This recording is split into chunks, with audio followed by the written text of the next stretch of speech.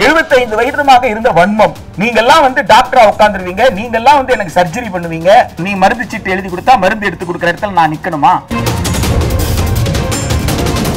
75 ஆண்டுகள் கழித்து கூட எல்லோருக்கும் சமமான கற்றல் வாய்ப்பை திரு நரேந்திர மோடி அவர்களால் கொடுக்க முடியவில்லை என்று அண்ணாமலை ஏன் வேதனைப்படல நான் கேட்கிறேன். ரெண்டாயிரத்தி இருபதுல இருந்து ரெண்டாயிரத்தி முப்பதுக்குள்ள ஏற்கனவே இருக்கிற சமூக நீதியின் அடிப்படையிலான கல்வி கட்டமைப்பை சிதைத்து விடுவது. அதுதான் அவங்க வேலை ஃபர்ஸ்ட் டார்கெட் நீட் விலக்கு சாத்தியமா இல்லையா? சட்டப்படி ஒன்றிய அரசு நடக்குது அப்படின்னு சொன்னா இல்ல சாத்தியமாவால் போறதுக்கு என்ன கூறுகள் இருக்குன்னு என்னால் புரிஞ்சுக்க முடியும்? விவாதத்தின் போது அண்ணல் அம்பேத்கர் சொல்றாரு தேர்வை கடினமாக்குவது கல்வியின் தரத்தை உயர்த்துவது அல்ல. நீட் வந்து எந்த வகையிலும் மாணவர்களை தகுதிப்படுத்தப்படல கோச்சிங் சென்டர் நடத்துற தனியார் கொள்ளை லாபம் அடிக்கிறாங்க. அவருடைய கொள்ளை லாபத்துல ஒரு பங்கு ஒன்றிய அரசுக்கு கிடைக்குது ஜிஎஸ்டி வரி மூலமா. தமிழ்நாட்டோட ஒட்டுமொத்த கல்வியும் தமிழ்நாடு அரசால் வழங்க முடியுமா? அதற்கான நிதி தமிழ்நாடு அரசு ஏற்படுத்த முடியுமா? கர்ம வீரர் காமராஜால திறக்க முடியும்னா திரு மு க ஸ்டாலினால திறக்க முடியாதா? பொலிட்டிக்கல் வில் வேணுங்க. வணக்கம் சார். இப்போ தொடர்ச்சியாக தமிழ்நாட்டில் நீட் விலக்கு அப்படிங்கிறது ஒரு பெரும் பேசு பொருளாக இருக்குது இப்போ நீட் விலக்கு சாத்தியமா இல்லையா? சட்டப்படி ஒன்றிய அரசு நடக்குது அப்படின்னு சொன்னா சட்டப்படி ஆளுநர் நடந்து கொள்கிறார் என்று சொன்னால் இல்லை சாத்தியமாவால் போகிறதுக்கு என்ன கூறுகள் இருக்குதுன்னு என்னால் புரிஞ்சுக்க முடியல. உண்மையிலேயே தமிழ்நாடு சட்டப்பேரவை நிறைவேற்றிய சட்ட முன்வடிவு அரசமைப்பு சட்டத்தின்படி ஏற்புடையது அல்லன்னு சொன்னால் ஆளுநர் என்ன செய்திருக்கணும்? நேரடியாக அரசமைப்பு சட்டின் இந்த பிரிவின் அடிப்படையில் நீங்கள் எழுதி அனுப்பிய இந்த சட்ட முன்வடிவுக்கு நான் குடியரசுத் தலைவருக்கு அனுப்ப முடியாது அப்படின்னு சொல்லி அந்த சட்டப்பிரிவை சொல்லி தான் அவர் திருப்பி அனுப்பணும். அவர் அந்த மாதிரி எதையுமே செய்யலையே. ஒரு தேர்ந்தெடுக்கப்பட்ட அரசு அதுவும் தேர்தலில் வாக்குறுதியாக கொடுக்கப்பட்டு மக்களால் அந்த வாக் வாக்கு என்பது அந்த நோக்கத்திற்காக கொடுக்கப்பட்ட வாக்கு. இட்ஸ் பொலிட்டிக்கல் மேண்டேட் இந்திய அரசமைப்பு சட்டம் மாநிலத்திற்கு சட்டம் இயற்றக்கூடிய அதிகாரத்தை கொடுத்துருக்கு. அந்த அதிகாரத்தின் அடிப்படையில் தான் சட்டப்பேரவை வந்து சட்டத்தை இயற்றியிருக்கு. ஆளுநர் அவர்கள் ஓராண்டு ஆகப்போகுது போகுது. கிட்டத்தட்ட பதினோரு மாதம் ஆகுது. அந்த சட்ட மசோதா ரெண்டு முறை நிறைவேற்றப்பட்டிருக்கு. நீங்கள் அந்த நீட்டை எதுக்காகன்னு சொல்கிறீங்க தகுதியான மருத்துவர்களை உருவாக்குவதற்கு தான் அப்போது மருத்துவர்களுடைய தகுதியை தீர்மானிப்பதற்காக ஒரு நடத்தக்கூடிய ஒரு தகுதி தேர்வு குறித்த ஒரு சட்ட முன்வடிவை ஆளுநர் அவர்கள் பதினோரு மாசமாக முடிவெடுக்க முடியாமல் வைத்து கொண்டிருக்கிறாரே அப்படி என்றால் ஆளுநருடைய தகுதி என்ன திறமை என்ன என்ற கேள்வி எழலையா அப்போ இது அரசமைப்பு சட்டத்தின் பால் நடந்த ஒரு சட்ட முன்வடிவு. ஆனால் அரசமைப்பு சட்டத்தின்படி ஆளுநர் நடந்து கொள்ளாததனால் ஒன்றிய அரசு நடந்து கொள்ளாததனால் நீட் விலக்கு என்பது தமிழ்நாட்டுக்கு இன்னும் கிடைக்காம இருக்கு.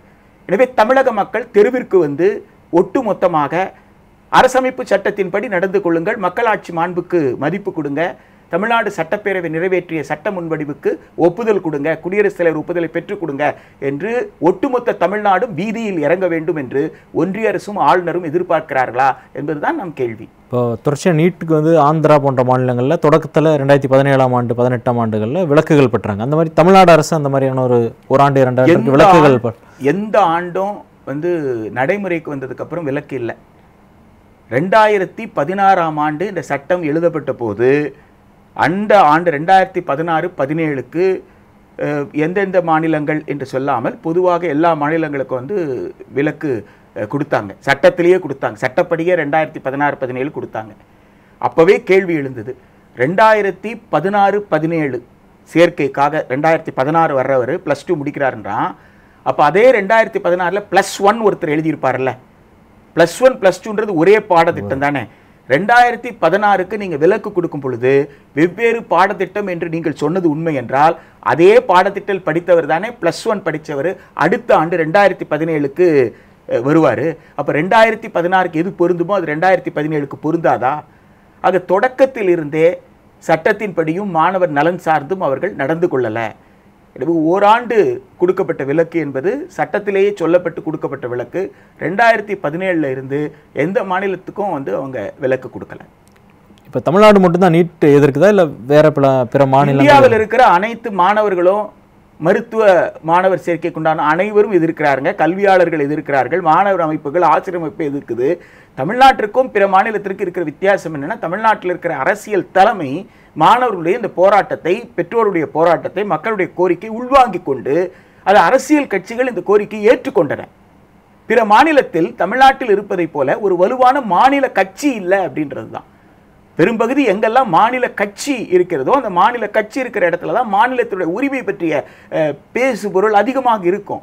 இங்கே தமிழ்நாட்டில் மாநிலத்தினுடைய உரிமை அது மட்டுமல்லாமல் உங்களுக்கு ஆயிரத்தி தொள்ளாயிரத்தி ஐம்பதுகள்லேயே கிட்டத்தட்ட கர்ம வீரர் காமராஜர் காலத்தில் ஆறு மருத்துவக் கல்லூரியை திறந்திருக்கும். இன்றைக்கு மாவட்டத்திற்கு ஒரு மாநில அரசு மருத்துவக் கல்லூரி என்ற இலக்கை நோக்கி தமிழ்நாடு சென்று கொண்டிருக்கக்கூடிய சூழலில் நம்ம ஊர் மக்களுக்கு நம்ம ஊர் மாணவர்களுக்கு நம்மால் மருத்துவ கல்வியை கொடுக்கணும்னு உருவாக்கப்பட்ட ஒரு கட்டமைப்பை நாமே வந்து அதற்கு ஒரு தடை போடுவது நியாயமற்ற ஒரு தடையாக. பன்னிரெண்டு ஆண்டு காலம் ஒரு குழந்தை வந்து பள்ளியில் படிக்குது. அப்போ படித்ததில் அந்த பாடத்திட்டத்திற்குட்பட்டு அது மதிப்பீடு செய்யப்படுகிறது. படித்ததில் மதிப்பீட்டின் அடிப்படையில் தான் மாணவர் சேர்க்கைக்கு வர்றாங்க. இப்போ மீண்டும் இன்னொரு தேர்வு என்பது எப்படி வந்து நியாயமாக போயிடும் ஒரே குழந்தை ஒரே பாடத்திட்டத்தில் மாநில அரசோ அல்லது சிபிஎஸ்சியோ தேர்வு நடத்தி சான்று கொடுத்தால் அது தகுதி அல்ல. நேஷனல் டெஸ்டிங் ஏஜென்சி எழுதுனா அது தகுதின்னு சொன்னால் அது எந்த வகையில் நியாயம் என்பதுதான் ஒரு நியாயமற்ற வணிக ரீதியாக உங்களுக்கு கோச்சிங் சென்டரை ஊக்குவிக்கிற. கோச்சிங் சென்டர் நடத்துகிற தனியார் கொள்ளை லாபம் அடிக்கிறாங்க. அவருடைய கொள்ளை லாபத்தில் ஒரு பங்கு ஒன்றிய அரசுக்கு கிடைக்குது ஜிஎஸ்டி வரி மூலமாக பதினெட்டு பர்சன்ட் ஜிஎஸ்டி அப்போ ஒன்றிய அரசு என்ன நடக்குதுன்னா பள்ளிக்கூடம் நடத்தினா செலவு. தனியார் கோச்சிங் சென்டர் நடத்தினா நாம ஜிஎஸ்டி வரியாக பதினெட்டு பர்சன்ட் அப்படின்னா பத்தாயிரம் ரூபாய் நீங்கள் கோச்சிங் சென்டருக்கு ஃபீஸ் கட்டுறீங்கன்னா ஒன்றிய அரசுக்கு ஜிஎஸ்டியை ஆயிரத்தி எட்நூறுரூவா கட்டுறீங்கன்னு அர்த்தம். ஒரு லட்ச ரூபாய் ஃபீஸ் கட்டுறீங்கன்னா பதினெட்டாயிரம் ரூபா ஜிஎஸ்டி கட்டுறீங்கன்னு அர்த்தம். அப்போ நீட்டுக்கான கோச்சிங் சென்டர் கியூட் எக்ஸாமுக்கான கோச்சிங் சென்டர் ஜேஇக்கான கோச்சிங் சென்டர் இதெல்லாம் ஒன்றிய அரசுக்கு ஜிஎஸ்டி மூலமாக வரி வருமானம் வருது. நீ ஒன்னாலேருந்து பன்னிரெண்டாவது வரைக்கும் மாநில அரசினுடைய பள்ளிகளில் ஒரு ரூபா கூட செலவு பண்ணாமல் நீங்கள் படிச்சுட்டு வரீங்க. அப்போ செலவு பண்ணாமல் நீ படிச்சுட்டு வந்துட்டா நீ டாக்டர் ஆகிட முடியுமா?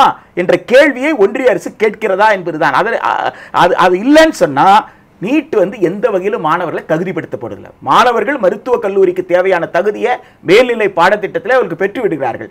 அதற்கு பிறகு மீண்டும் இன்னொரு தகுதி தேர்வு என்பது கோச்சிங் சென்டருக்காக வணிக ரீதிய வணிக நோக்கத்தை நிறைவேற்றுவதற்காக உருவாக்கப்படுறதே தவிர ஒரு நியாயமான அணுகுமுறை அல்ல. தமிழ்நாட்டு அரசியல் தலைவர்கள் வந்து ஒரு ஏழை மாணவர்கள் தேர்வின் மூலியமாக உள்ள நுழைவதை வந்து தடுக்கிறாங்க அப்படின்னு பாஜக குற்றம் சுமத்துது. அதை நீங்கள் எப்படி பார்க்குறீங்க ஏழை மாணவர்கள் குற்றம் சுமத்துறார் சொல்றாரு. திரு அண்ணாமலை அவர்கள் அல்லது ஆளுநர் ரவி அவர்கள் மூணு வருஷமாக சேர்ந்திருக்காங்கல்ல ரெண்டாயிரத்தி பதினேழுலேருந்து சேர்ந்திருக்காங்கல்ல. அவர்கள் அத்துணை பேரை நானும் கூட வர்றேன். ஒவ்வொரு கல்லூரியாக போவோம். சேர்ந்தவர்களை பார்த்து கேட்போம். எந்தெந்த பல்கலைக்கழகத்தில் படித்தவங்க எந்தெந்த பள்ளியில் படித்தவங்க எந்தெந்த கோச்சிங் சென்டரில் படித்தவங்க கோச்சிங் சென்டரில் படிக்காமல ஒரு புள்ளி ஒரு டைரக்ட் சர்வேவேக்கே வரேன் நான். வர தயார். கோச்சிங் சென்டர் போகாமல் துட்டு செலவு பண்ணாமல் ஏழையாக இருக்கக்கூடியவருக்கு கூட யாராவது ஒருத்தர் செலவு பண்ணியிருக்கணும். ஒரு காட்ஃபாதர் பின்னாடி இருந்திருக்கணும். யாராவது ஒருத்தர் நன்கொடை கொடுத்துருக்கணும். இல்லை பலர் சேர்ந்து ஒரு குழந்தையை வந்து படிக்க வச்சிருக்கணும். அரசு பள்ளியில் படிக்கிறவர்கள் கூட ஓராண்டு இல்லை ரெண்டு ஆண்டு படிச்சிருக்கிறாங்க. கோச்சிங் சென்டரில் போய் படிச்சிருக்கிறாங்க. இதெல்லாம் இல்லை அப்படின்னு எந்த அடிப்படையில் சொல்றீங்க? இல்லை என்பது உண்மை என்றால் என்ன? என் கூட நீங்க வாங்க இல்லை உங்க கூட நான் வர்றேன். போகலாம் மெட்ராஸ் ஜிஹெச்சுக்கு போகலாம் Madras medical college Stanley medical college அரசு மருத்துவமனைக்கு போகலாம் படிக்கிறவங்க எத்தனை வருஷம் கோச்சிங் எடுத்துக்கிட்டாங்கன்றதை பார்க்கலாம். இப்போ சமீபத்தில் நடந்த தேர்வு நடந்த பிறகு ஒரு மாணவரிடம் பேட்டி எடுத்து ஒரு ஆங்கில இதழில் போட்டிருக்கிறாங்க. அந்த மாணவர் சொல்றாரு போன வாட்டி ஐநூத்தி முப்பத்தி நாலு மதிப்பெண் பெற்றாராம். ஐநூத்தி முப்பத்தி நாலு மதிப்பெண் கடந்த முறை நீட்டில் பெற்றவர் இந்த வாட்டி ரிப்பீட்டர் ஐநூத்தி முப்பத்தி நாலு பெற்றவர் ஏன் ரிப்பீட்டரா வர்றார்? திரும்பவும் எழுதுறாருன்னு சொன்னா அவருக்கு வந்து அரசு மருத்துவமனை கிடைக்கல. செல்ஃப் ஃபைனான்ஸ் காலேஜில் கிடைச்சிருக்கு. அங்கே பணம் கட்ட முடியாது. பணம் கட்ட முடியாதுன்றதுனால ரிப்பீட்டர் செகண்ட் டைம் அவர் வந்து ரிப்பீட் பண்றார். இப்போ இந்த முறை பயாலஜி பேப்பர் டஃப்ன்றாங்க இப்போ அவருக்கு போன வாட்டி வந்த அந்த ஐநூத்தி முப்பத்தி நாலு விட கூடுதலாக வேண்டும். எப்படியாவது அரசு கல்லூரிக்கு போய் இந்த வாட்டி எழுதியிருக்கிறாரு. இந்த ஐநூத்தி முப்பத்தி நாலு விட குறைவாக வந்தால் அந்த மாணவருடைய நிலை என்ன ஆகும்? அப்ப ரெண்டு ஆண்டுகளாக அவர் கோச்சிங் எடுத்துக்கிட்டு இருக்கிறாரு. அதோட நிலை என்ன ஆகும்? அது மட்டுமல்லாமல் யூடியூப் மூலமாக இன்னும் பல்வேறு வகையில் நீங்கள் கொஞ்சம் பணம் கட்டினா போகிறோம் நீங்கள் டவுன்லோட் பண்ணி படிக்கலாம். அப்படி ஏதோ ஒரு வகையில மாணவர்களிடம் இருக்கக்கூடிய கொஞ்ச நெஞ்ச சேமிப்பை கூட பெற்றோரிடம் இருக்கக்கூடிய கொஞ்ச நெஞ்ச சேமிப்பை கூட உறிஞ்சி எடுத்துக்கொண்டிருக்கிறார்கள் இது எதுவுமே தெரியாதா? இது எதுவுமே தெரியாமல் தான் இவர்கள் பேசுகிறார்களா? என்பதுதான் நான் முன்னால் இருக்கக்கூடிய கேள்வி. இதுல கட்சி அரசியல் பார்ப்பது என்பது நியாயமற்ற அணுகுமுறைங்க. கல்வியல் செயல்பாட்டிற்கு எதிரானது நீட். அதை புரிந்து கொள்ள வேண்டும். மாணவர்களை அந்தந்த பருவத்தில் நீங்கள் கொடுக்கிற பாடத்திட்டத்தை முழுமையாக படிப்பதற்கான வாய்ப்புகளை வசதியை உருவாக்கி கொடுக்கணும். அந்த பாடத்திட்டத்தை அவர்கள் படித்து விட்டார்கள் என்று நீங்கள் திருப்தி அடைந்த பிறகு அடுத்த நிலையில் படிப்பதற்கு தான் நீங்கள் அனுமதிக்க வேண்டுமே தவிர அவர்கள் படித்த பாடத்திட்டத்திலே மீண்டும் இன்னொரு தேர்வை வேறொரு நடத்துவார் என்று சொல்வது என்பது மாணவர்களின் மீது உளவியல் ரீதியான தாக்கத்தை ஏற்படுத்துவது. நானாக விலகி விடுவேன். ஐயோ இன்னொரு வருஷம் என்னால் முடியாது. அந்த மாதிரி டெஸ்ட் எல்லாம் முடியாது. என்ன உளவியல் ரீதியாக என்னை பயமுறுத்தி நான் வந்து அந்த போட்டிக்குள்ளே வராமல் பார்த்து கொள்ளக்கூடிய ஏற்பாடு தானே தவிர நிச்சயமாக நீட் என்பது ஏழை மக்களுக்காக அல்ல இது வந்து வசதியும் வாய்ப்பும் பெற்றவர்களுக்கு மட்டுமே மருத்துவ வசதி என்பதற்காகத்தான். இப்போ அந்த அப்போ பணம் படைத்தவர்களுக்கு தான் நீட் அப்படிங்கிறது தான் நம்ம தெளிவாக அதில் நம்ம புரிஞ்சுக்க கூடியதாக இருக்காங்க உயர்கல்வி உயர் வேலை வாய்ப்பு இது இதுல எல்லாம் வந்து எந்த குறிப்பிட்ட ஜாதி இருக்குன்றது யாருக்குமே தெரியாதா? எழுபத்தைந்து வயதுமாக இருந்த வன்மம். நீங்கெல்லாம் வந்து டாக்டரா உட்காந்துருவீங்க நீங்கெல்லாம் வந்து எனக்கு சர்ஜரி பண்ணுவீங்க நான் வந்து உங்ககிட்ட வந்து கம்பவுண்டராக நிற்கணுமா நான் வந்து டிஸ்பென்சரிக்கு வந்து நிற்கணும் நீ மருந்து சீட்டு எழுதி கொடுத்தா மருந்து எடுத்து கொடுக்குற இடத்துல நான் நிற்கணுமா என்ற அந்த வன்மம் இருக்கல எழுபத்தஞ்சு வருஷ வன்மம் இருக்கல இந்திய அரசமைப்பு சட்டம் என்றைக்கு வந்ததோ அரசமைப்பு சட்டம் வந்த பிறகு எல்லோரும் எல்லாம் படிக்கலாம் எந்த நிலையிலும் படிக்கலாம் உருவாகி யாரு வேண்டுமானாலும் மருத்துவராகலாம் ஒன்றாம் வகுப்பிலிருந்து பனிரெண்டாம் வகுப்பு வரை நான் நடைபாதையில் இருக்கிறேன் எனக்கு கூரை கூட கிடையாது. எங்க அப்பா அம்மா வந்து கூலி வேலை செய்யறாங்க என்ற நிலை இருந்தால் கூட என்னால் கண்ணியமாக ஒரு அரசு பள்ளியில் படிக்க முடியுது. கண்ணியமாக அரசு பள்ளியில் பன்னிரெண்டாம் வகுப்பு படித்து நான் நீங்கள் கேட்கிற தகுதியுடைய மதிப்பெண்களை பெற்றுவிட்டேன். நான் மருத்துவம் படிப்பது தானே மருத்துவம் படிக்க விருப்பப்பட்டால் நான் மருத்துவம் படிக்கிறேன். பொறியியல்னா பொறியியல் படிக்கிறேன். அல்லது வந்து வணிகவியல் படிக்கணுமா வரலாறு படிக்கணுமா என்ன படிக்கணும் நினைக்கணும் படிக்கிறேன்? அதற்கு பிறகு இன்னொரு தேர்வு நீங்கள் நடத்த வேண்டிய அவசியம் எங்கே எழுந்திருக்கிறது? அப்போ ஒரு கண்ணியமிக்க குழந்தை பருவம் என்பது கட்டணம் இல்லாமல் படிக்கக்கூடிய அந்த பள்ளிகளில் தான் உங்களுக்கு கிடைக்கும். இந்தியாவில் மட்டும் இந்த கோரிக்கை இல்ல உலகம் முழுக்க இருக்க கோரிக்கை. உலகத்துல வளர்ந்த நாடுகளும் வளர்கின்ற நாடுகளும் பெரிய அளவுல பள்ளி கல்வியை கட்டணம் இல்லாமல் நடத்துது. இந்தியாவுல தான் நம்ம பல அடுக்கு கல்வி முறையை வச்சிருக்கிறோம். இதற்கு வெட்கப்பட வேண்டாமா? 75 ஆண்டுகள் கழித்து கூட எல்லோருக்கும் சமமான கற்றல் வாய்ப்பை திரு நரேந்திர மோடி அவர்களால் கொடுக்க முடியவில்லை என்று அண்ணாமலை ஏன் வேதனைப்படலை நான் கேட்கிறேன் என்ன கேட்கிறோம்? ஒரு பள்ளிக்கூடத்திற்கு நுழைந்தால் ஒரு பள்ளிக்கூடத்தில் என்னென்ன வாய்ப்பும் வசதியும் இருக்கிறதோ அதே வாய்ப்பும் வசதியும் எல்லா பள்ளிக்கூடத்திற்கும் இருக்கணும்னு சொல்றோம். ஒரு ஏழை மாணவன் குடிசையிலிருந்து வருகிறான் என்று சொன்னால் அந்த மாணவனுக்கும் ஒரு பணக்கார மாணவருக்கும் ரெண்டு பேரும் பள்ளிக்கூடத்திற்கு நுழையும் பொழுது ரெண்டு பேருக்கும் சமமான கற்றல் வாய்ப்பை கொடுக்கணும். அப்படியான கற்றல் வாய்ப்பை திரு நரேந்திர மோடி அவர்களால் கொடுக்க முடியவில்லையே என்று அண்ணாமலை அவர்கள் ஏன் வந்து கவலைப்படலை? அப்ப ஏழை மாணவர்களுக்கும் பணக்காரர்களுக்கும் சமமான கற்றல் வாய்ப்பு கொடுப்பதை திரு அண்ணாமலை அவர்கள் விரும்பவில்லையா? திரு நரேந்திர மோடி அவர்கள் விரும்பவில்லை என்பதை அண்ணாமலை அவர்கள் ஏற்றுக்கொள்கிறார்களா?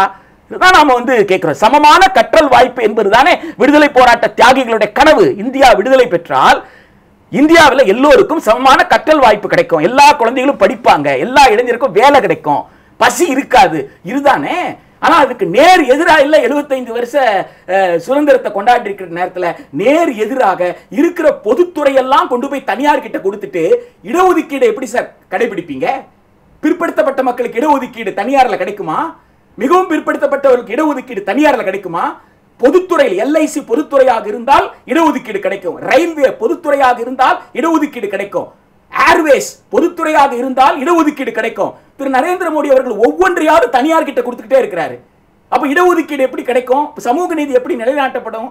இதை பற்றி எதையுமே பேசாமல் திசை திருப்புவதற்காக நாங்கள் ஏழைக்காக பேசிக் கொண்டிருக்கிறோம் என்று வாயில பேசுறதால ஒரு லாபமும் இல்லை. இப்போ தமிழ்நாடு ஆளுநர் வந்து ஒவ்வொரு கல்வி நிலையத்திலையும் அவரோட தலையீடு இருக்கிறத இப்போ நம்ம பார்க்க முடியுது. தமிழ்நாடு கல்வி அமைச்சர் கூட வெளிப்படையாக அதை கண்டிச்சிருக்கார். இப்போ நம்ம இதை எப்படி பார்க்கறது? ஏதோ ஒரு திட்டத்தோட செயல்படுறாரு ஆளுநர் அப்படின்னு நம்ம எடுத்துக்கலாம். திரு ஆர் என் ரவி அவர்கள் தமிழகத்துடைய ஆளுநராக பொறுப்பேற்கின்ற போது அவர் வந்து இந்திய அரசமைப்பு சட்டத்தின்படி ஆட்சி செய்ய வேண்டும். அதுதான் அவர் எடுத்திருக்கிற சத்திய பிரமாணத்திற்கு. ஆனால் திரு ஆர் என் ரவி அவர்கள் இந்திய அரசமைப்பு சட்டத்திற்கு எதிராக மக்களாட்சி மாண்புக்கு எதிராக மக்களால் தேர்ந்தெடுக்கப்பட்ட ஒரு அரசை செயலிழக்க செய்யக்கூடிய வேலையை செஞ்சிட்டு இருக்கிறார். மக்களால் தேர்ந்தெடுக்கப்பட்டிருக்கின்ற அரசு மக்களுக்கு கொடுத்த வாக்குறுதியின் அடிப்படையில் சட்டப்பேரவையில் ஒரு சட்ட முன்வடிவை நிறைவேற்றினால் அந்த சட்ட முன்வடிவுக்கு ஆளுநர் ஒப்புதல் கொடுக்கணும். ஒப்புதல் கொடுக்கலனா எதற்காக ஒப்புதல் கொடுக்குற அவருக்கு என்ன விளக்கம் வேண்டும்னு கேட்டு அவர் வந்து சட்டப்பேரவைக்கு திருப்பி அனுப்பணும். மீண்டும் சட்டப்பேரவை விவாதித்து அதை அனுப்புவாரேனால் அது மாநில பட்டியலில் இருக்கக்கூடிய ஒரு பொருளாக இருந்தால் அவர் உடனடியாக வந்து அதற்கு ஒப்புதல் தரணும். அது பொதுப்பட்டியலாக இருந்ததுன்னு சொன்னால் அதை வந்து உடனடியாக குடியரசுத் தலைவருக்கு அவருக்கு அனுப்பணும். அது திருப்பி அனுப்புறதுக்கு கூட அவருக்கு வந்து எந்த உரிமையும் கிடையாது. ஆனால் தனக்கு இல்லாத உரிமையை எல்லாம் இருப்பதை போல் கருதி கொள்கிறார். ராஜ் பவனை அவர் தலைமைச் செயலகம் போல நினைச்சுக்கிறார் அப்ப தலைமைச் செயலகத்தில் இருந்து ஒரு அரசு செய்ய வேண்டிய வேலையெல்லாம் ராஜ்பவன்ல உட்கார்ந்து கொண்டு ஆளுநரை நேரடியாக செய்வது என்பது அதுவும் மாநில அரசு எடுத்திருக்கக்கூடிய ஒரு கொள்கை நிலைப்பாட்டிற்கு நேர் எதிராக. ஒரு மாநில அரசு ஒரு முதலமைச்சருக்கு அமைச்சர்களுக்கு பதவி பிரமாணம் செய்து வைப்பது யார்? ஆளுநர் தானே. பதவியேற்ற பிறகு சட்டப்பேரவை கூடிய உடனே சட்டப்பேரவையுடைய முதல் கூட்டத்தில் அரசின் கொள்கையை வாசிப்பவர் யார்? ஆளுநர் தானே. அப்போ ஆளுநர் இந்த அரசின் கொள்கையை வாசித்து விட்டு தான் வாசித்த கொள்கைக்கு முரணாக ஆளுநர் நடந்துக்க முடியுமா? இந்த அரசுக்கு இதுதான் கொள்கைன்னு சட்டப்பேரவையில் ஆளுநர் பேசுவாராம். ஆனா அந்த கொள்கைக்கு எதிராக ராஜ்பவன்ல உட்கார்ந்துட்டு ஆளுநர் நடந்து கொள்வாராம். இது எப்படி வந்து நியாயமாக இருக்க முடியும்? அப்போ ஆளுநர் என்ன நம்ம வந்து விடுதலைக்கு முன்னாடி பிரிட்டிஷ் ஏகாதிபத்தியத்தின் கீழ் நாம் அடிமையாக இருக்கும் பொழுது இருந்த இரட்டையாட்சி முறையின்படி ஆட்சி செய்யணும்னு நினைக்கிறாரா? தேர்ந்தெடுக்கப்பட்ட அரசுக்கு எந்த அதிகாரம் கிடையாது. ஆளுநருக்கு தான் எல்லா அதிகாரம்ட்டு பிரிட்டிஷ் காலனி ஆதிக்க ஆளுநராக தன்னை கருதி கொள்கிறார்களா என்பதுதான் நம் முன்னால் இருக்கக்கூடிய கேள்வி. இப்போ கல்வியை வந்து பொதுப்பட்டியலிருந்து மாநில பட்டியலுக்கு மாற்ற முடியுமா? தமிழ்நாடு அரசு அதற்கான நடவடிக்கைகள் மேல் மேற்கொள்ளணும்னு நீங்கள் நினைக்கிறீங்களா? மாநில பட்டியலில் கல்வி இருப்பதுதான் நியாயம். ஏனென்றால் இந்திய அரசமைப்பு சட்டத்தை எழுதுகின்ற போது அரசமைப்பு சட்டத்தை எழுதக்கூடிய அந்த அவை அரசியல் சாசன நிர்ணய சபை கான்ஸ்டிடியூட் அசம்பிளி டிபேட்ஸ்லேயே ஒரு விஷயத்தை அவங்க தெளிவுபடுத்தினாங்க. இந்தியா என்பது யூனியன் ஆஃப் ஸ்டேட்ஸ் பல்வேறு தேசிய இனங்களை கொண்ட மக்கள் வாழக்கூடிய பல மாநிலங்களினுடைய கூட்டமைப்பு தான் இந்தியா. ஒரு ஒன்றியம் தான் இந்தியா. அத்தகைய இந்திய ஒன்றியத்தில் ஒட்டுமொத்த இந்தியாவுடைய பாதுகாப்பு.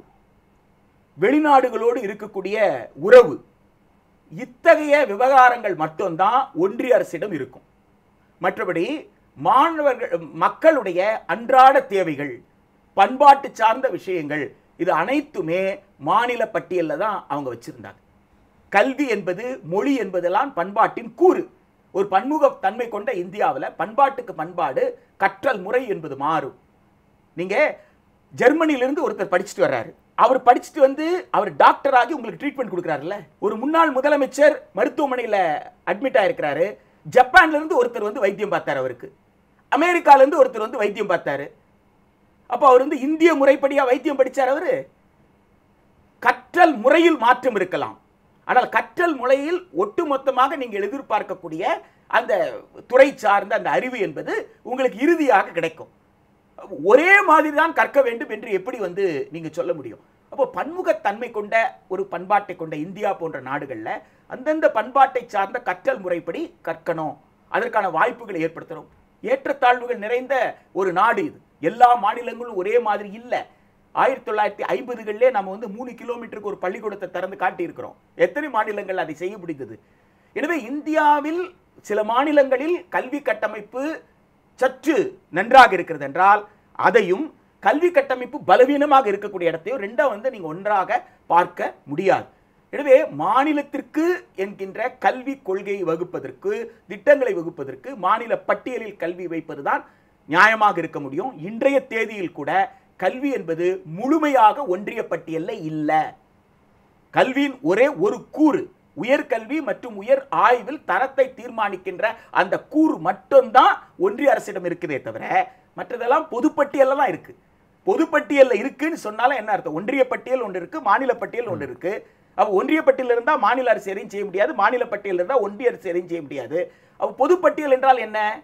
கங்கரண்ட் லிஸ்ட் ஒப்பிசைவு பட்டியல். ரெண்டு பேரும் ஒப்பிசைந்து செய்ய வேண்டியது என்று அர்த்தம். அப்போ ரெண்டு பேரும் அதில் முடிவெடுக்கிற அதிகாரம் இருக்குது எனவே கல்வியில் இன்றைய நிலையில் கூட மாநில அரசு தனக்கான கொள்கையை வகுத்துக் கொள்வதற்கும் அந்த கொள்கையின்படி நீங்கள் நோக்கம் என்ன? எல்லோருக்கும் கல்வி கொடுப்பது தானே உங்கள் நோக்கம். தொழில்நுட்பத்தை பயன்படுத்துங்கன்றது தானே உங்கள் நோக்கம். அந்த நோக்கத்தை நான் என் மாநிலத்தின் தன்மைக்கு தகுந்தாற் போல சிறப்பாக செயல்படுத்துவதற்கு நான் வந்து என் கல்விக் கொள்கையை வகுத்துக் கொள்கிறேன் என்று சொன்னால் அது எப்படி வந்து முரணாக இருக்க முடியும்? மாநில பட்டியலுக்கு வர வேண்டும் அதற்கான தீவிரமான போராட்டத்தை வந்து நாம் வந்து நடத்தணும்.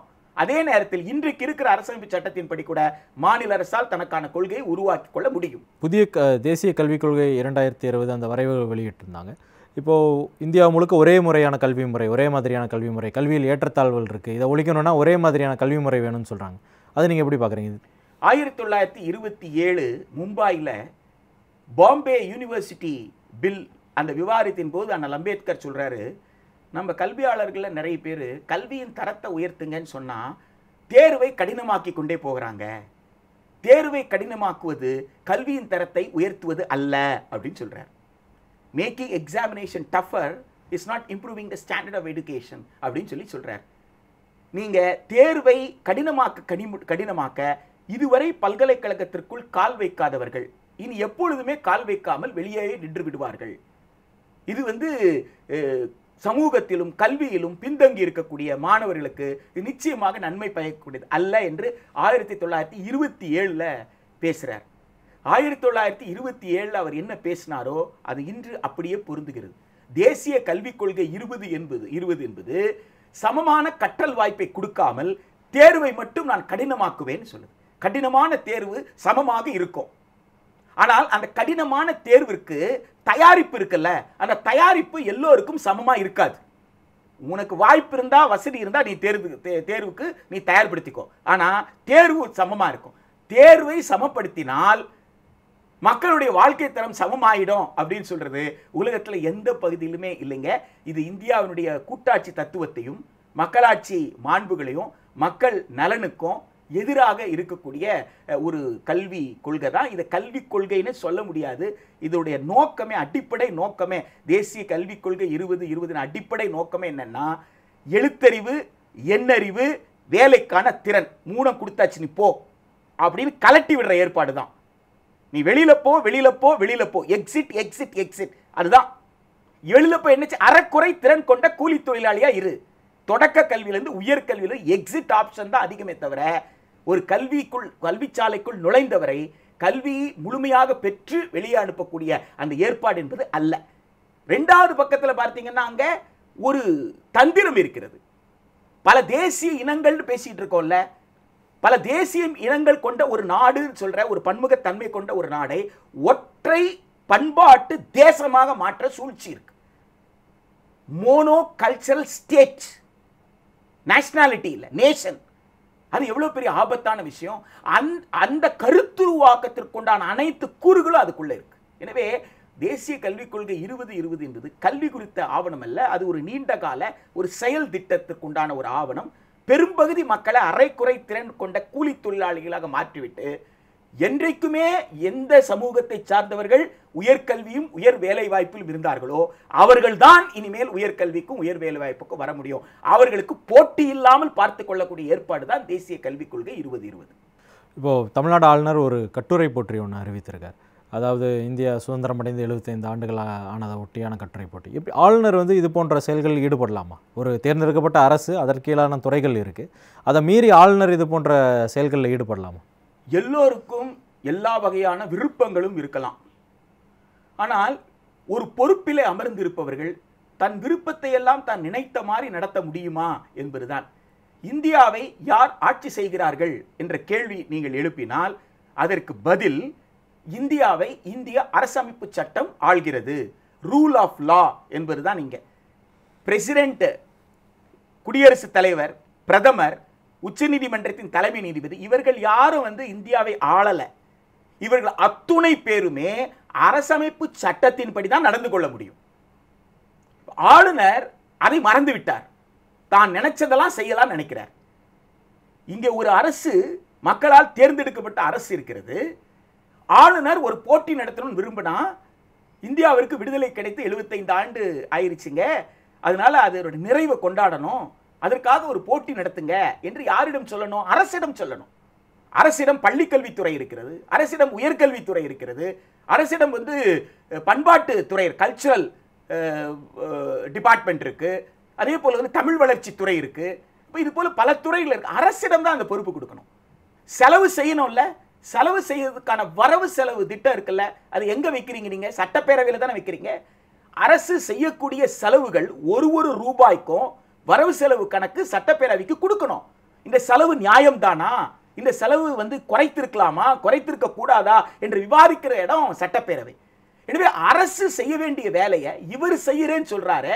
இதற்கான நிதி எங்கே இருந்து வந்தது? யாரிடம் இந்த பொறுப்பை கொடுத்திருக்கிறார்? எத்தனையோ பல்கலைக்கழகங்கள் இருக்கின்ற நேரத்துல ஒரு மருத்துவ பல்கலைக்கழகத்தோட துணைவேந்தர் வந்து அவர் ஏன் தேர்ந்தெடுக்கிறாரு? அந்த மருத்துவ பல்கலைக்கழகத்தின் துணைவேந்தருக்கு பதவி நீட்டிப்பு இவர் தான் கொடுத்திருக்கிறார். ஓராண்டு பதவி நீட்டிப்பில் இருக்கிறாரு. அதுக்கு பேர் ஃபேவரிட்டிசம் இல்லையா? ஒருத்தருக்கு சலுகை காட்டியிருக்கீங்க. அவங்க கிட்டே கூடுதலா கொடுக்குறீங்கன்ற அர்த்தம் இல்லையா? நீங்கள் செம்மொழி எடுத்துக்கிட்டீங்கன்னா அந்த நிறுவனத்தினுடைய கவர்னிங் கவுன்சில் சொல்கிறாங்களே ஆட்சி மன்ற குழு அதன் தலைவர் வந்து முதலமைச்சர். அது ஆட்சி மன்ற குழுக்கு தெரியுமா? முதலமைச்சருக்கு தெரியுமா? ஆனால் அந்த இயக்குனரை தான் தமிழ் போட்டிக்கு நீங்கள் போட்டிருக்கிறீங்க. அப்போ ஆளுநர் அவர்கள் பிரிட்டிஷ் ஏகாதிபத்திய காலத்தில் இருந்த இரட்டையாட்சி முறையை நடைமுறைப்படுத்துவதற்கு இந்திய சுதந்திரத்தினுடைய எழுபத்தைந்தாவது விடுதலை நாள் நிறைவு நாளை பயன்படுத்துவதைத்தான் மிகப்பெரிய முரணாக பார்க்குறோம். ஆயிரத்தி தொள்ளாயிரத்தி பத்தொம்போது இந்திய அரசு சட்டம் கவர்மெண்ட் ஆஃப் இந்தியா ஆக்ட் அதில் தான் டயாருக்கு இன்ட்ரடியூஸ் பண்ணுறாங்க இரட்டையாட்சி முறை. அதை எதிர்த்து தான் இந்தியா முழுக்க கொந்தளிப்பு எழுகிறது. அந்த ஆண்டு தான் ரவுலட் சட்டம். ஜாலியன் வாலாபாக்கில் பல நூறு பேர் சுட்டுக் கொல்லப்பட்டார்கள். பல நூறு பேர் வந்து காயமடைந்தார்கள். வாவு சிதம்பரனாரில் தொடங்கி பலரும் வந்து பல்வேறு வகையான துன்பத்திற்கு உள்ளானார்கள். இன்றைக்கு வாழ்ந்து கொண்டிருக்கிற தோழர் சர்க்கரை ஆகட்டும் தோழர் நல்லக்கண்ணு ஆகட்டும் இதை போன்ற பலரும் தியாகம் செய்துதான் சுதந்திரம் கிடைத்தது. எதை எதிர்த்து? இரட்டையாட்சி முறை எதிர்த்து. எந்த இரட்டையாட்சி முறை எதிர்த்து விடுதலை பெற்றோமோ அந்த இரட்டையாட்சியை விடுதலை இந்தியாவின் எழுபத்தைந்தாவது ஆண்டு நிறைவு நாளிலே ஆளுநர் நடைமுறைப்படுத்த பார்க்கிறாரான்றதானே நீங்க ஒரு ஆளுநர் இந்த மாநிலத்துடைய தலைவர் நீங்க நீங்க முதலமைச்சர் மூலமாக பல காரியங்களை செய்யணும். அரசு என்ன உத்தரவு பிறப்பித்தாலும் உங்க பேர்ல தான் உத்தரவு பிறப்பிக்குது. நீங்க கவர்மெண்ட் ஆர்டர் எடுத்து பாருங்க ஜிஓ எடுத்து பாருங்க. ஜிஓல கீழே என்ன இருக்கும்?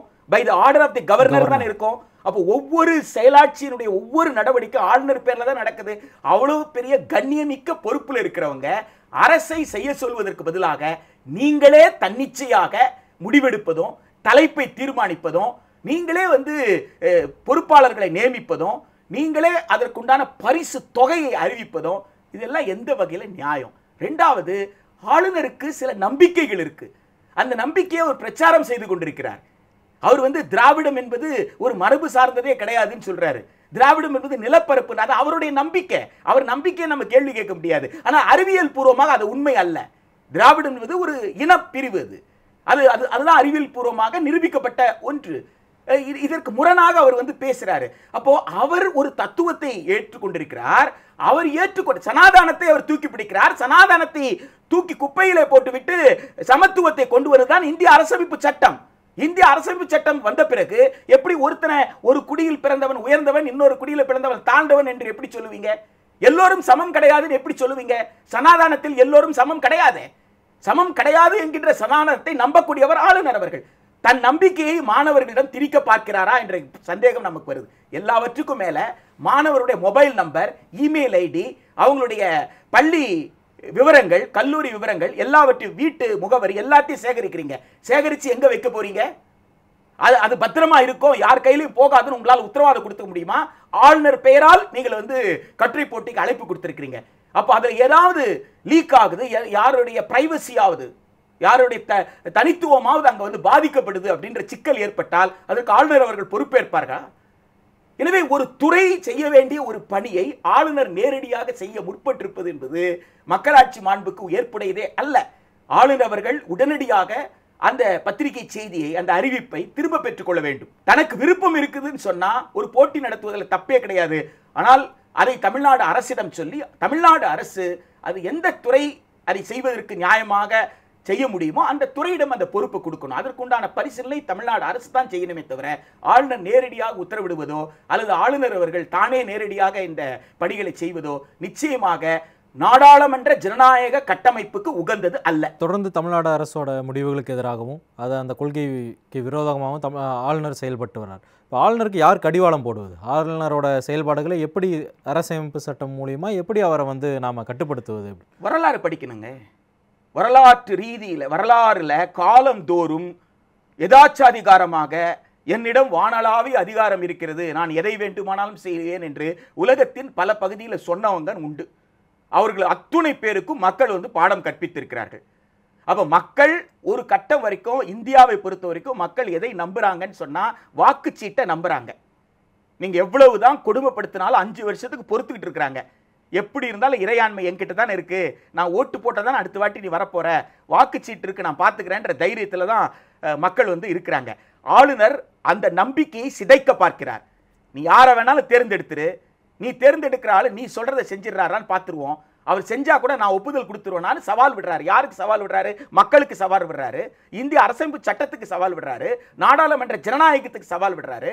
அப்ப நாடாளுமன்ற ஜனநாயகத்துக்கும் இந்திய அரசமைப்பு சட்டத்திற்கும் சவால் விடுகிறார் என்று சொல்லும் பொழுது கஷ்டப்பட்டு உருவாக்கிய அரசமைப்பு சட்டத்தையும் இந்தியாவின் காப்பதற்கு இந்தியர்கள் தெருவுக்கு வரமாட்டாங்களா? வீதியில் இறங்கி போராட மாட்டார்களா? எனவே ஆளுநர் அவ்வாறு மக்கள் தெருவுக்கு வந்து ஆளுநருக்கு புரிய வைக்கணும் அப்படின்னு ஆளுநர் நினைத்தார்களே ஆனால் நிச்சயமாக ஒரு கட்டத்தில் மக்கள் வீதியில் இறங்கி போராட வருவார்கள். இப்போ இந்த கள்ளக்குறிச்சி விவகாரம் குறித்து நம்ம பார்ப்போம். அந்த மாணவி மறுமான முறையில் இறந்துருக்காங்கன்னு ஒரு செய்தி வருது.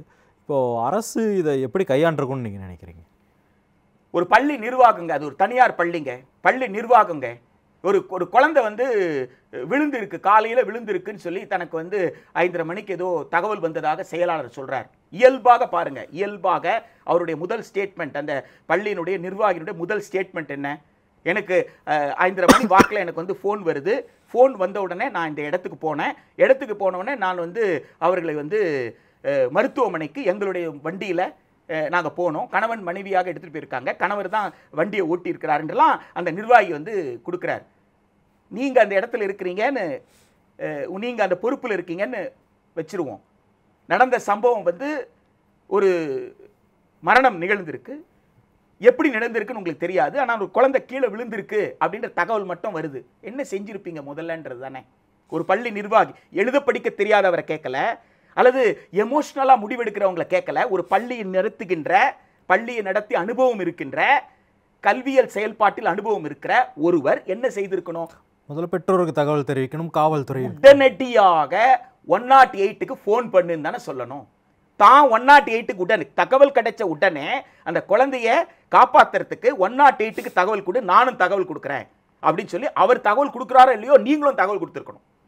ரெண்டாவது என்ன செஞ்சுருக்கணும்?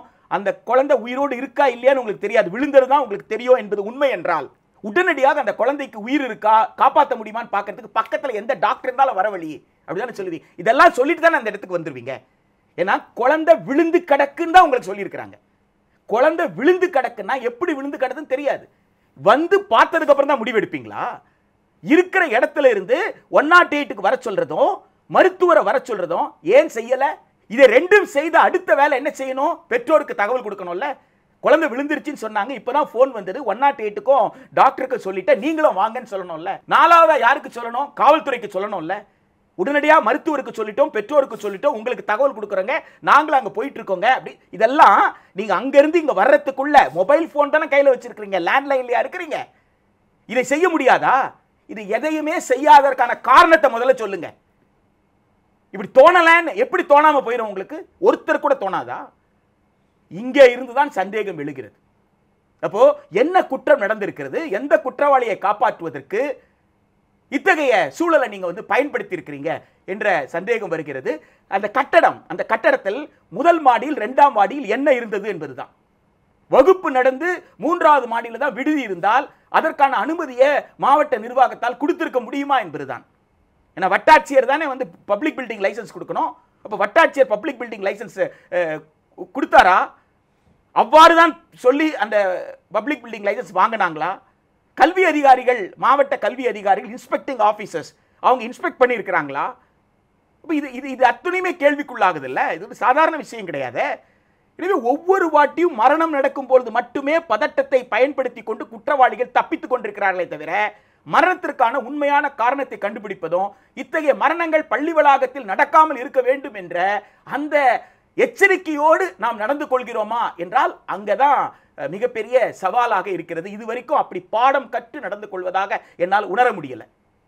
இப்போ தொடர்ச்சியாக இந்தியா முழுக்க கல்வி நிலையங்கள் மேலே ஒரு பாஜக குறிவைத்திருக்கிறத நம்ம பார்க்க முடியுது. தொடர்ச்சியாக கல்வி நிலையங்களை ஒட்டியே பல சர்ச்சைகள் எழுப்புறாங்க. பல பாடப்பிரிவுகள் நீக்கப்படுது. சில முக்கியமான வரலாற்று ஆய்வாளர்களை அந்த கல்லூரி நிர்வாக குழுகளில் இருந்தெல்லாம் அகற்றுறாங்க இதை நீங்கள் எப்படி பார்க்குறீங்க? என்ன கல்வியை பாஜக குறிவைப்பதற்கான காரணம் என்ன? பெனிட்டோ முசோலினி என்று ஒரு ஃபாசிஸ்ட் கட்சியினுடைய தலைவர் ஒருத்தர் முசோலினி என்ற ஒருத்தர் இத்தாலியில் இருந்தார். அவருடைய கல்வி திட்டத்தை எடுத்து படித்து பார்த்தீங்கன்னா இதுக்கான விடையை வந்து தானாக கிடைக்கும். ஒரு கல்ட்டை கிரியேட் பண்ணணும். நான் விரும்புவதை போல். அதாவது நேஷன் ஸ்டேட்டுன்றோம்ல ஸ்டேட் நேஷன் ஸ்டேட் தேசம். தேசத்தில் ஆட்சி செய்பவர் அரசு கவர்மெண்ட் ரெண்டுக்கும் வித்தியாசம் இருக்கு. ஸ்டேட்டு கவர்மெண்ட் ஸ்டேட்டுன்னா அரசுன்னு கூட நீங்கள் எடுத்துக்கலாம். அதனால தான் நான் நேஷன் ஸ்டேட்டுன்றேன். ஒரு நாடு ஒரு நாடு ஒரு நாட்டின் அரசு. ரெண்டுக்கும் வித்தியாசம் இருக்கு. அரசு என்னால் தேர்ந்தெடுக்கப்படுறது. என்னால் தேர்ந்தெடுக்கப்படுற அரசு நான் ஒரு கொள்கைக்காக தேர்ந்தெடுக்கிறேன். நான் தேர்ந்தெடுத்த கொள்கைப்படி அரசு நடந்துக்கலன்னா நான் தேர்ந்தெடுத்த கொள்கையின்படி அரசு நடந்துக்கல. அரசே ராஜினாமா செய்யுன்னு சொல்றதுக்கு எனக்கு உரிமை இருக்குது அப்ப என் போராட்டம் எதை எதிர்த்த போராட்டம்? அரசை எதிர்த்த போராட்டம். என் தேசத்தை எதிர்த்த போராட்டம் அல்ல. பெனிட்டோ முசோலினி எப்படி சித்தரிக்க பார்த்தாருன்னா அரசுக்கு தலைமை தாங்குற பெனிட்டோ முசோலினி அவரை எதிர்த்து கேள்வி கேட்டாலே தேசத்தை எதிர்த்து கேள்வி கேட்டார் போல் கொண்டு வந்துட்டார். இப்ப அரசை எதிர்த்து கேள்வி கேட்டால் அரசு தன்னை திருத்திக் கொள்ளாது. மாறாக அரசு அதை எப்படி சித்தரிக்கும்னு சொன்னா தேசத்தை எதிர்த்து கேள்வி கேட்டார் போல் சித்தரிக்கும். தேசத்துக்கு எதிராக நடந்துக்கிறாரு. என் தேசத்துக்கு எதிராக நான் நடக்கல. என் தேசம் நல்லா இருக்கணும். என் தேசம் சிதைக்கிற மாதிரி அரசு நடந்துக்குது. அரசை தான் மாற்ற வேண்டும் நான் சொல்றேன். என்றால் இந்த இடத்துல ரெண்டுக்கும் வித்தியாசம் இல்லாமல் ஒரு குழப்பத்தை ஏற்படுத்துறாங்கல்ல? அந்த சூழ்ச்சி தான் இந்த தேசிய கல்விக் கொள்கை. மூன்று வயதில் இருந்தே அவங்க என்ன நினைக்கிறாங்கன்னு கேட்டா ஒரு கல்டெக்ரி ஏன்னா அவங்க நீண்ட திட்டம் ரெண்டாயிரத்தி ஐம்பது தான் அவங்க இலக்கு. ரெண்டாயிரத்தி இருபதுலேருந்து ரெண்டாயிரத்தி முப்பதுக்குள்ள ஏற்கனவே இருக்கிற சமூக நீதியின் அடிப்படையிலான கல்வி கட்டமைப்பை சிதைத்து விடுவது. இப்போ இருக்கிற கல்லூரி இப்படி இப்போ இருக்கிற பல்கலைக்கழகம் சிதைச்சிடுறது. அதுதான் அவங்க வேலை ஃபஸ்ட்டு டார்கெட் அதுக்கு மாற்றாக டிஜிட்டலில் படிச்சுக்கோ எங்கேருந்து வேணாலும் படிச்சுக்கோ. எப்போ வேணால் படிக்க உள்ளவா எப்போ வேணாலும் வெளியில் போய். இஷ்டம் இல்லைன்னா வெளியில் போயிரு. ஆனால் சமூக நீதி அப்படி கிடையாதே. தட்டு தடுமாடி வர்றவங்க தட்டி கொடுத்துடே படிக்கக்கூடாதுன்னு சொல்லக்கூடாது. கண்டிப்பாக படிச்சிடணும். தட்டி கொடுத்து படிக்க வைக்கிறது தானே சமூக நீதி. ஆனால் அதுக்கு நேர் எதிராக இவர்கள் நான் சிதைச்சு விட்டு எங்கேருந்து வேணாலும் படிச்சுக்கோன்னு இதை ரெண்டாயிரத்தி முப்பதுக்குள்ளே பண்ணிட்டா ரெண்டாயிரத்தி முப்பதுலேருந்து ரெண்டாயிரத்தி நாற்பது இருக்குல்ல அப்போ நான் கட்டமைச்ச ஒரு கல்வி முறை இருக்குல்ல அதில் கால் வச்சவன் தானே. அந்த பத்தாண்டில் இருக்க போகிறான் அவருடைய சிந்தனை ஓட்டம் எங்கே வெளிப்படும்? ரெண்டாயிரத்தி ஐம்பதுல வெளிப்படும். அப்போ ரெண்டாயிரத்தி ஐம்பதுல இந்தியா ஒரே பண்பாடை கொண்டது என்று நம்பக்கூடிய ஒரு தலைமுறையை உருவாக்குற சூழ்ச்சி. அப்ப இந்தியா என்பது பன்முகத்தன் ப- பண்பாடுன்னு இப்ப பேசிட்டு இருக்காங்கல்ல அப்படி இருக்காது. பாடத்திட்டத்தில் அப்படி இருக்காது. இந்தியா என்பது ஒரே பன்முக பண்பாட்டை கொண்டது. ஒரு மொழி தான் பல மொழி உருவாக்குறதுக்கு தாய்மொழி. எல்லா மொழிக்கும் தாயே இந்த மொழி தான் அப்படின்னு சமஸ்கிருதத்தை நிறுவனம்னு நினைக்கிறாங்க. சமஸ்கிருத பண்பாடு தான் எல்லா பண்பாட்டினோட தாய் பண்பாடு என்று சொல்ல விருப்பப்படுறாங்க. அப்ப இந்தியா என்பது என்ன? சமஸ்கிருதமயமாக்கப்பட்ட பண்பாடு தான் இந்திய பண்பாடும் கட்டமைக்க முயற்சி செய்கிறாங்க அப்படி கட்டமைப்பதற்கு தேவையான அனைத்து கூறுகளையும் பாட நூல்களுக்குள்ள பாட திட்டத்திற்குள்ள கற்பித்தல் முறையில் எல்லாவற்றிலுமே அவங்க கொண்டு வருகிறார்கள். இதுதான் அந்த தேசிய கல்விக் கொள்கை இருபது இருபதுடைய ஆபத்து. அந்த ஆபத்தை உணர்ந்துதான் தொடக்க காலத்திலிருந்து தமிழ்நாட்டில் அதை அனுமதிக்க முடியாது. சமூக நீதியின் அடிப்படையில் இருக்கக்கூடிய ஒரு கல்வி கட்டமைப்பை நாங்கள் சிதைக்க விட மாட்டோம் என்ற முழக்கம் தமிழ்நாட்டில் வலுவாக எழுவதற்கு இதுதான் காரணம். இப்போ பரவலாக இந்த கள்ளக்குறிச்சி சம்பவத்தை ஒட்டி சமூக வலைதளங்களில் பல கருத்துக்கள் நாம் பார்க்க முடியுது. கல்வியில் தனியார் மயம் ஒழிக்கப்பட வேண்டும். முழு ஆரம்ப கல்வி முதல் ஆராய்ச்சி கல்வி வரை அரசே வழங்க வேண்டும்ன்ற கோரிக்கை நீண்ட நாளாக இருந்தாலும் இப்போ கொஞ்சம் தீவிரமாக எழு எழுப்பப்படுது. நீங்கள் எப்படி பார்க்குறீங்க ஒட்டுமொத்த கல்வியும் தமிழ்நாட்டோட ஒட்டுமொத்த கல்வியும் தமிழ்நாடு அரசால் வழங்க முடியுமா? அதற்கான நிதி தமிழ்நாடு அரசு ஏற்படுத்த முடியும்? முடியாது என்று முதலமைச்சரை வாய் திறந்து சொல்ல சொல்லுங்க. முடியாது அப்படின்னு சொல்ல சொல்லுங்க வாய் திறந்து. தமிழ்நாட்டில் இருந்து கொண்டு அப்படி சொல்லவே முடியாது. உலகத்தில் முதலாளித்துவ நாடுகள் நான் வந்து சோசியலிச ரஷ்யாவையோ யுஎஸ்எஸ்ஆரையோ பழைய யுஎஸ்எஸ்ஆரையோ அல்லது இப்போ இருக்கக்கூடிய சோசியலிச கியூபாவையோ நான் சொல்லலை. ஃபின்லாண்டில் என்ன சோசியலிசமாக இருக்குது ஜெர்மனியில் என்ன சோசியலிசமாக இருக்குது இந்தியாவில் இல்லாமல் இந்தியாவில் கடந்து உலகத்தில் எந்த நாடு எடுத்துக்கிட்டாலும் முதலாளித்துவ கொள்கை இருக்கிற நாடு கூட. அந்த நாட்டில் அந்த நாட்டு மக்களுக்குண்டான கல்வியை தாய்மொழியில் அரசின் பொறுப்பிலும் செலவிலும் இருக்கிறாங்க கொடுக்குறாங்க. கொடுக்கலன்னு இவங்க ஜெர்மன் மொழியில் பேச சொல்லுங்க. நான் வந்து அந்த கேசட்டை அப்படியே ஜெர்மன் சான்சலருக்கு அனுப்புகிறேன் உங்கள் நாட்டை பற்றி இப்படி பேசுகிறாருங்க அப்படின்னு நான் உலகத்தில் ஃபின்லாண்டில் அப்படி கொடுக்கலன்னு சொல்ல சொல்லுங்க. அமெரிக்காவில் அப்படிலாம் கிடையாதுங்கன்னு சொல்ல சொல்லுங்க. நான் பிட்டனுக்கு அனுப்பி வைக்கிறேன். அப்படியா சார்? உண்மையா சார்? பிட்டன் கிட்டே கேட்டுடலாம் உலகத்தில் வளர்ந்த நாடுகள் அனைத்து நாடுகள்லையும் வளர்கின்ற நாடுகள்லையும் அரசு தன் பொறுப்பிலும் கல்வி க- செலவிலும் கல்வியை கொடுத்துட்டு இந்தியாவில் பணமே இல்லை அப்படின்னு சொல்லி தானே மூதறிஞர் முதலமைச்சராக இருக்கும் பொழுது பள்ளிக்கூடத்தை அறநாள் ஆக்கினாரு பாதி நாள் சில எண்ணிக்கையில் மாணவர்கள் வருவாங்க. அவர்கள் போயிடுவாங்க மிச்ச எண்ணிக்கையில் இருக்கிறவங்க மத்தியானம் வந்து படிப்பாங்க. அப்போ ஒன்றாம் வகுப்பில் நூறு பிள்ளைங்கன்னா ஐம்பது பிள்ளைங்க காலையில் படிக்கும் ஐம்பது பிள்ளைங்க மத்தியானம் படிக்கும். மூவாயிரம் பள்ளிகள் கிட்ட மூடிட்டாங்க. பணம் இல்லைன்னு சொல்லி. கர்ம வீரர் காமராஜர் ஆட்சிக்கு வர்றார். தந்தை பெரியார் எதை சிந்தித்தாரோ அதை செயல்படுத்தி காட்டுறது அப்படின்னு முடிவோடு வர்றார். என்ன செய்தார்? வந்த உடனே மூடின மூவாயிரம் பள்ளியை திறக்கலையா? திறந்தது மட்டுமல்ல மூணு கிலோமீட்டருக்கு ஒரு பள்ளிக்கூடம் அஞ்சு கிலோமீட்டருக்கு ஒரு பள்ளிக்கூடம். நீங்க ஆட்சிக்கு வரும்போது அதே நிலைமை தானே? பணம் இல்லைன்ற நிலைமையில தானே பள்ளியை மூடினாங்க? எப்படி காமராஜரால் திறக்க முடிஞ்சது? கர்ம வீரர் காமராஜரால் திறக்க முடியும்னா திரு மு க ஸ்டாலினால் திறக்க முடியாதா? பொலிட்டிக்கல் வில் வேணுங்க. பொலிட்டிக்கல் வின் வேணும். பணம் வேண்டுமா? வரி கேளுங்க. அரசு பொறுப்பெடுத்து நடத்துது. இத்தனை ஆயிரம் கோடி ரூபாய் வேண்டும். ஒரு ஒயிட் பேப்பர் கொடுங்க. நம்ம நிதியமைச்சரை ஒயிட் பேப்பர் தயார் பண்ண சொல்லுங்க. கல்வியை அரசு எடுத்து நடத்தணும்னா எவ்வளவு செலவாகணும் ஒயிட் பேப்பர் வைக்க சொல்லுங்க. ஏற்கனவே ஒரு ஒயிட் பேப்பர் வச்சிருக்காருல்ல? கடந்த ஆட்சியில் நடந்த அநியாயங்களுக்கெல்லாம் ஒரு ஒயிட் பேப்பர் வச்சார்ல அதே மாதிரி ஒரு ஒயிட் பேப்பர் வைக்க சொல்லுங்க. அவருக்கு தான் உலகத்தில் இருக்கிற அனைத்து பொருளாதார நிபுணர்களை கொண்ட ஒரு ஆலோசனை குழு வச்சிருக்காருல்ல? அந்த ஆலோசனை குழுவை சொல்ல சொல்லுங்க. அரசால் கொடுக்க முடியாதுன்னு சொல்ல சொல்லுங்க. அந்த பொருளாதார நிபுணர்களை சொல்ல சொல்லுங்க வாய் திறந்து. அரசு நினைத்தால் முடியும். அரசு நினைத்தால் அரசை தவிர வேற யாரால கொடுக்க முடியும் நீங்க நினைக்கிறீங்க? கேந்திர வித்யாலய யாரோட பள்ளி? கேந்திர வித்யாலயில எதுக்கு கொண்டு போய் சேர்க்குறீங்க? அரசு பள்ளியில தானே? உங்களுக்கு இஸ்ரோல இருக்கக்கூடிய சிவன் எந்த பள்ளியிலிருந்து வந்தாரு? மயில்சாமி அண்ணாதுரை எந்த பள்ளியிலிருந்து வந்தாரு? பிடபிள்யூடியில் வேலை செய்கிறவங்க எல்லாம் எந்த கல்லூரியிலிருந்து வந்தாங்க? யோசிச்சு பாருங்க. தமிழ்நாடு இந்தியாவுடைய கட்டமைப்பை உருவாக்கிக்கிட்டு இருக்கிறவங்க அதுக்கு கான்ட்ரிபியூட் பண்ணிக்கிட்டு இருக்கிறவங்க எல்லாம் மாநில அரசு நடத்தின கல்லூரியிலும் பல்கலைக்கழகத்திலும் படிச்சுட்டு வந்தவங்க. ஐஐடியில் படிச்சுட்டு வந்தவங்க இஸ்ரோவில் வேலை செய்கிறாங்க ஐஐடியில் படிச்சுட்டு வந்தவங்களா சென்னை மாநகராட்சியில் வேலை செஞ்சுட்டு இருக்காங்க அப்போ இந்த மாநிலத்தின் கட்டமைப்பை வளர்த்தது யார்? இந்த மாநில அரசுடைய பள்ளியில் இந்த மாநில அரசுடைய கல்லூரியில் படித்தவங்க தான். எனவே இந்த மாநிலத்துடைய நலன் கருதி அது இன்றைக்கு சொல்கிறாருல்ல அந்த பாதிக்கப்பட்ட மாணவர்கள் அந்த பள்ளியை சார்ந்த மாணவர்கள் அத்துணை பேரையும் அரசு பள்ளியில் சேர்க்கிறான்னு சொல்கிறாருல்ல அதை தானே நாங்களும் கேட்குறோம். எல்லா பிள்ளைகளும் கொண்டு போய் கவர்மெண்ட் ஸ்கூலில் சேருங்க. ஏன்? தனியார் வந்து தெளிவாக சொல்கிறாங்கல்ல நாங்கள் முதல் போட்டிருக்கிறோம். நாங்கள் லாபத்தை எடுப்போம்னு சொல்கிறாங்க இதை விட வேறு என்ன வேணும் உங்களுக்கு? அவங்க எதுவும் மறைமுகமாலாம் சொல்லலையே வெளிப்படையாக தானே சொல்கிறாங்க எனவே பள்ளியை அரசு எடுத்து நடத்துறதுல யாருமே தடையாக இருக்க முடியாது. கேரளாவில் ஆயிரத்தி தொள்ளாயிரத்தி ஐம்பத்தி ஆறில் கேரளா எஜுகேஷன் பில் அது வந்து குடியரசுத் தலைவர் உச்சநீதிமன்றத்துக்கு ரெஃபர் பண்ண உடனே உச்சநீதிமன்றம் அந்த வழக்கு தீர்ப்பில் சொல்லுது. ஏங்க இந்த மசோதா வந்து எல்லோருக்கும் கல்வியை தானே கொடுக்குது. இது யாருக்கு எதிரான மசோதான்னு நினைக்கிறீங்க? யாரோட உரிமை இது பறிக்கவே இல்லையே என்று சொல்லியிருக்கு. எனவே அரசு தன் பொறுப்பிலும் செலவிலும் கல்வியை எடுத்து கொடுக்க தொடங்கினா நீதிமன்றமோ யாருமே தடையா இருக்க முடியாது. இன்னும் சொல்ல போனால் அரசமைப்பு சட்டம் அதைத்தான் செய்ய சொல்கிறது.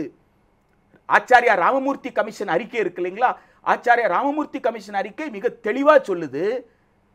மூன்று பத்தாண்டுகள்னு ஒரு டைம் டேபிளை கொடுக்குறாங்க. முதல் பத்தாண்டில் அரசு பள்ளி கட்டமைப்பை வலுப்படுத்தி விடுங்கள். அடுத்த பத்தாண்டில் தனியார் பள்ளிகளை கட்டுப்படுத்தி அவர்களை கட்டணம் வாங்கக்கூடாதுன்னு சொல்லுங்க. மூன்றாவது பத்தாண்டில் தனியார் கட்டணம் வாங்குவதாக இருந்தால் நீ நடத்தக்கூடாதுன்னு சொல்லி எல்லா பள்ளியையுமே அரசு பள்ளியை போல பொது பள்ளியாக மாற்றுங்க. கட்டணம் இல்லா பள்ளியாக மாற்றுங்கன்னு மூன்று பத்தாண்டுகள் கொண்ட டைம் டேபிள் கொடுத்து அந்த முப்பது வருஷம் ஆயிடுச்சுங்க எனவே கல்வியாளர்களை தலைவராக கொண்ட கல்வி குழுக்கள் அரசின் பொறுப்பிலும் செலவிலும் கல்வி கொடுக்கத்தான் பரிந்துரைத்திருக்காங்க. அரசமைப்பு சட்டமும் அதைத்தான் சொல்லுது. உங்களுக்கு நிதிதான் சிக்கல் என்று சொன்னால் கல்விக்கென்று கூடுதலாக வரி பெற்றுக்கொள்ளலாம் எப்படி வந்து கோவிட் காலத்தில் உங்களுக்கு வந்து மருந்து வாங்குறதுக்கு ஆக்சிஜனுக்கெல்லாம் பணம் இல்லைன்னு சொல்லி மக்கள் கிட்ட நிதி கேட்டீங்களா மக்கள் நிதி கொடுக்கலையா? அதுபோல் ஒன் டைம் தேவைப்படுது அப்படின்னா ஒரே ஒரு முறை மிகப்பெரிய நிதியாக தேவைப்படுது கட்டமைப்பு உருவாக்குறதுனா மக்கள் நிதி கொடுக்க தயாராக இருப்பாங்க. ரெக்கரிங் எக்ஸ்பென்ஸ் ஒவ்வொரு ஆண்டும் ஆசிரியர் சம்பளம் கொடுக்கறது ஊழியர்களுக்கு சம்பளம் கொடுக்கறது பராமரிப்புக்கு. ஒரு ஒயிட் பேப்பர் கொடுங்க. எவ்வளோ செலவுன்னு ஒயிட் பேப்பர் கொடுங்க. அதுக்குண்டான வரியை நீங்கள் வாங்கிக்கோங்க. வரியை பெற்றுக்கொண்டு நீங்கள் வந்து கட்டணம் இல்லாத கல்வியை அரசின் பொறுப்பிலும் செலவிலும் அரசு பள்ளி மூலமாக கொடுங்க. அதுதான் தமிழ்நாட்டை உலகமே திரும்பி பார்க்க வைக்கும். அதுதான் வந்து நீங்கள் நெஞ்சை நிமிர்த்தி சொல்லலாம். நூறாண்டு சுயமரியாதை இயக்கத்தினுடைய வாரிசு நானு அப்படின்னு சொல்லணும்னா நீதி கட்சியின் வாரிசு நானு அப்படின்னு சொல்லணும்னா அதுதான் நீதி கட்சியில் அதை செய்திருக்கிறார்கள். ஆயிரத்தி தொள்ளாயிரத்தி இருபதுகளிலே அதை செய்து காட்டியிருக்கிறார் தமிழ்நாட்டில். எனவே அந்த பாரம்பரியத்தில் வந்திருக்கக்கூடிய முதலமைச்சரால் நிச்சயமாக அதை செய்ய முடியும் அதை செய்யணும். மாலை முரசு நேயர்களுக்காக உங்கள் நேரத்தை ஒதுக்கியிருக்கு ரொம்ப நன்றி. நன்றி.